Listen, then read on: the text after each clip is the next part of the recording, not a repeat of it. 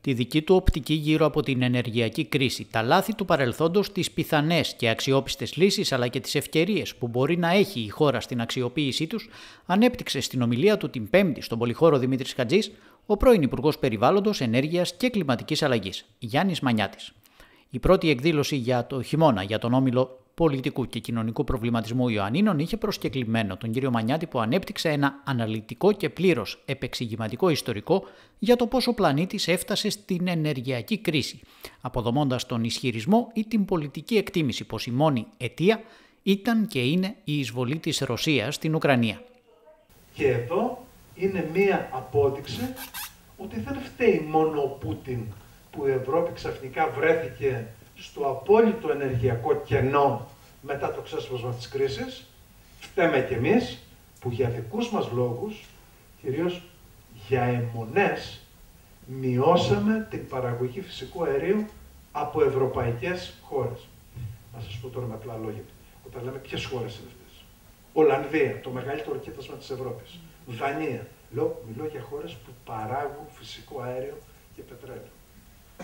Δανία, Ολλανδία, Μεγάλη Βρετανία, Ιταλία στην Αδριατική, Γερμανία λίγο, αλλά αρκετό.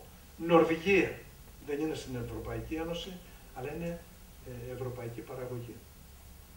Έχεις λοιπόν, Ρουμανία, έχεις λοιπόν μια σειρά χωρών που για δικούς τους λόγους άρχισαν να σέρνονται σε μία δίθεν βεβαιότητα ότι πάντα θα πηγαίνουμε ομαλά και πάντα θα έχουμε πάμφθινη ενέργεια.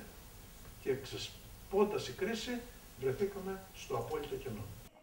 Το δεύτερο σκέλος της ομιλίας του κ. Μανιάτη είχε μεγαλύτερο εθνικό ενδιαφέρον με δεδομένη την έναρξη των σεισμικών ερευνών στη Δυτική Ελλάδα για τον εντοπισμό πιθανού κοιτάσματος φυσικού αερίου, καθώς επίσης και για τις συζητήσεις και αποφάσεις που τελικά είχαν ληφθεί πριν από μία δεκαετία για τους αγωγούς TAP και EastMed αντίστοιχα τον αγωγό TAP ήδη από το 2013 τον είχαμε κερδίσει.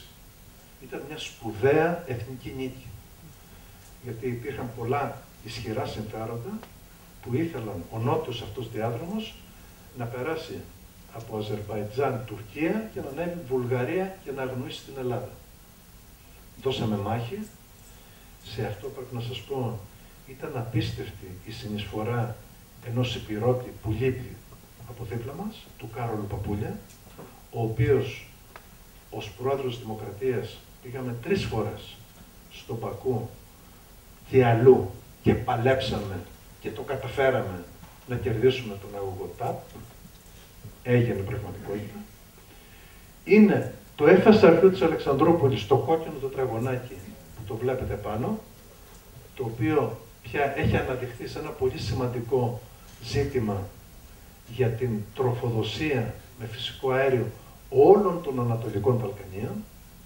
Είναι ο ελληνοβουλγαρικός αγωγός, η γαλάζια και η πρασινίζουσα γραμμή, που τον εγκαινίασαν πέντε πρωθυπουργοί, μεταξύ των οποίων και ο Έλληνας πρωθυπουργός ασφαλώς, πριν λίγες εβδομάδες. Αυτά όλα είναι σχέδια της περίοδου 2011-2014, που όλα αυτά τα είχαμε ενσωματώσει από το 2013 στον κατάλογο των χρηματοδοτούμενων ευρωπαϊκών προγραμμάτων και την επόμενη χρονιά, το 2014, τα εντάξαμε στις εθνικές στρατηγικές επενδύσεις. Είναι πια στρατηγική επένδυση της πατρίδας μας αυτές οι επενδύσεις. Και βεβαίως από το 2014 είμαστε στο 22, κάποιοι έχουν γίνει, κάποιοι είναι σε εξέλιξη, αλλά έχει περάσει ήδη μια οχταετία. Θα μπορούσαν πολύ πιο γρήγορα να έχουν προχωρήσει τα πράγματα. Στην ενέργεια, αν θέλεις να είσαι χρήσιμος στην πατρίδα σου, πρέπει να ξέρεις ότι αυτά που σχεδιάζεις σήμερα δεν πρόκειται να υλοποιηθούν αύριο. Θα περάσουν κάποια χρόνια. Πιθανόν να περάσει και μια δεκαετία.